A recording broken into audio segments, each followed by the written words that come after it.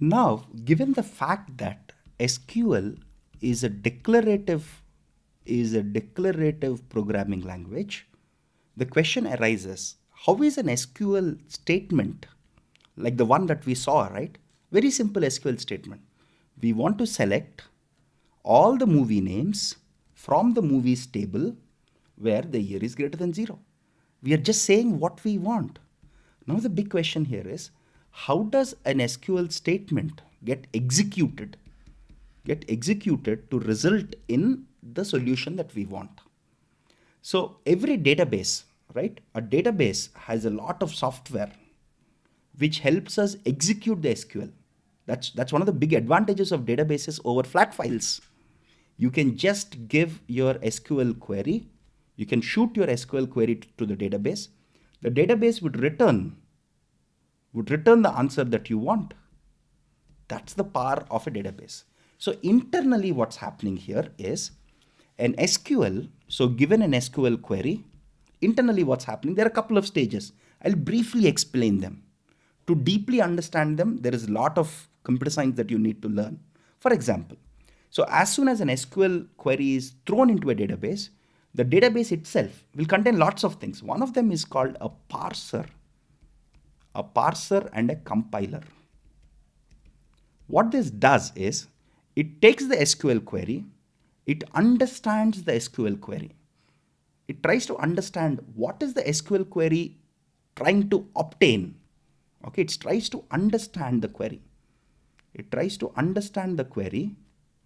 And once it understands the query, parsing actually tries to break your SQL statement or SQL query into smaller components. For example, it will say, okay, it wants data only from movies table.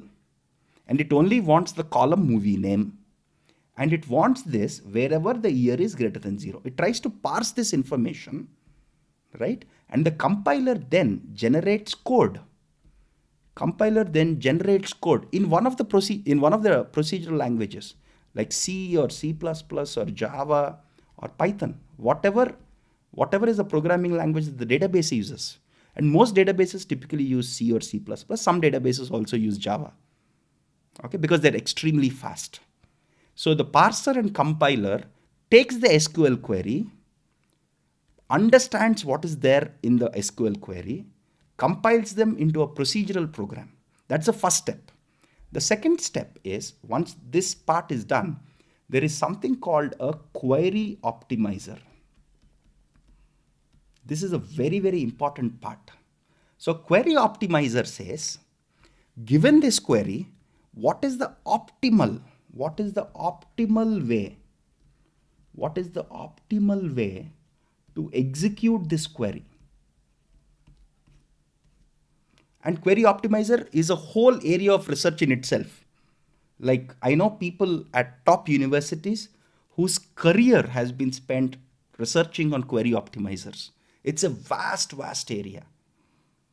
But in a nutshell, it says, given this, given what, because we already understood what it wants, we have some code snippet. Again, Code snippets in some databases can be generated by the compiler.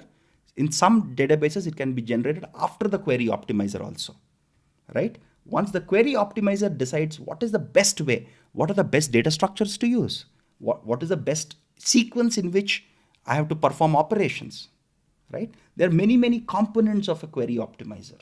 And then there is a query executor, right? The query executor at the end of the day, sorry, the query executor at the end of the day executes the query, right? The query executor.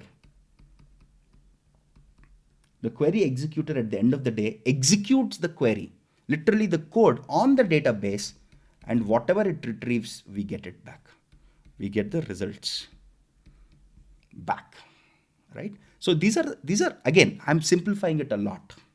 I'm simplifying it by a, by a wide I've, I have skipped a lot of things.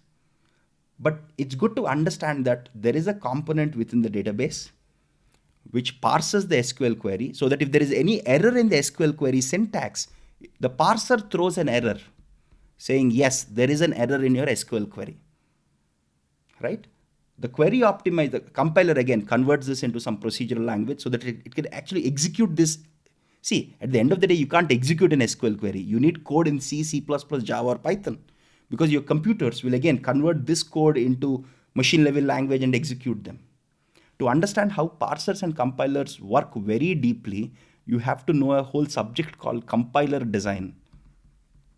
There is a whole subject called compiler design, which explains how parsers and compilers are designed. And this is a subject that we typically learn at undergraduate level computer science. Right? Again, a query optimizer, and this is a semester long subject. Okay? It's not a topic, it's a whole subject. Similarly, query optimizers is a very interesting area that typically people learn at graduate level, at master's or PhD level.